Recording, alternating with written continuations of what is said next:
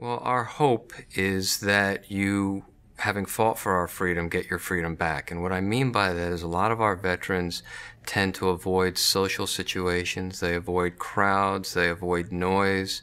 A grandfather might have missed all his son's football games and is now missing his grandson's football games. And we try and give that back. So when the crowd roars, it bothers you, it doesn't overwhelm you. And that's the that's our goal is to take these memories from overwhelming to bothersome. We can't erase them, we wouldn't want to erase them. They happened. Um, but we want to make it so that they can be dealt with.